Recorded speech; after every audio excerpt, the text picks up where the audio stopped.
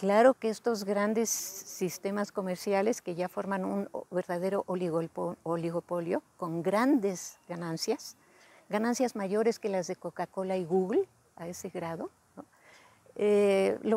le doran la píldora, o sea, venden servicios adicionales,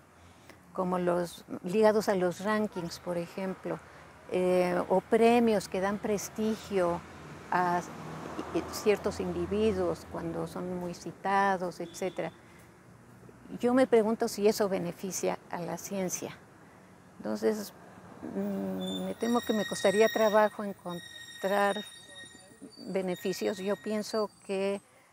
eh, los servicios que se ofrecen son secundarios, que si, que si el medio académico y el medio científico incluidas no solamente las sociedades y los centros de investigación, sino también las sociedades científicas, que son no lucrativas,